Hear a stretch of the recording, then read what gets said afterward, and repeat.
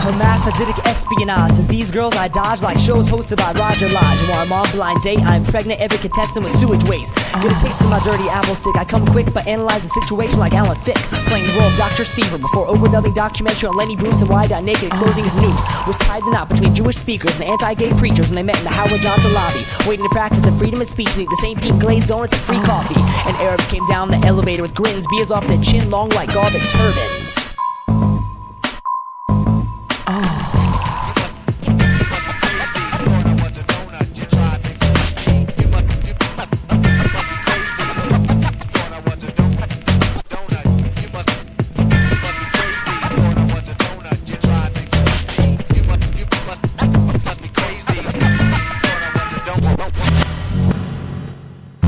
The crawled off their butts, bladders of rust in order to preach the word of Jesus.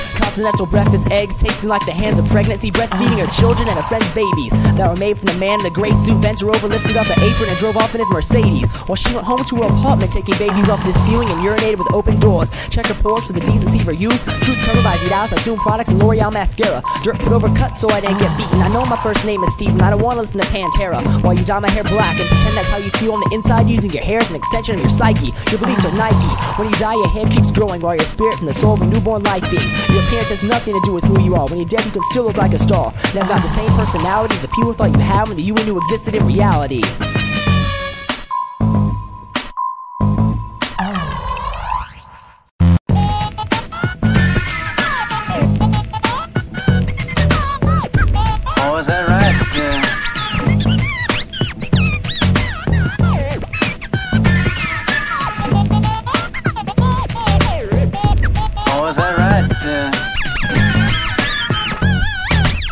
Check out my virtual penis. Feel your mind and convince your brain you've contracted a foreign disease. Of course, you never heard of me. You don't have to know who I am to get my herpes. Passed down through weeks of fucking monogamy. In the metaphoric sense that it doesn't work for me. Relationships are based on the trust that your partner is once given to lust, thereby explaining their anal crust. And ointments found in the bathroom left out in the sink. Side effects may cause your urethra to drip pink. To later be used on glazed donuts that will be held in the hands of all of us. It's easy to understand scripture with picture of Solomon cutting in half a baby like Victor. Frankenstein waking dead divine to be brought back to earth with someone else's spine and mayonnaise is kind, which rots from the inside out, causing gout, skin to be filled with bile, can't get out of bed and sleep in a fecal pile. You can no longer live in denial that your father can't read. Shawn Kemp can ball, but can't write his name on a motherfucking bathroom stall.